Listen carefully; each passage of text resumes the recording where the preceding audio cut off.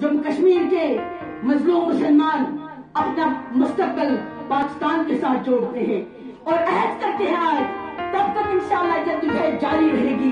जब तक न हम हिंदुस्तान से हम आज़ाद हो जाएँगे और इंशाल्लाह पाकिस्तान का एक जुजवल्ला सब बनेंगे।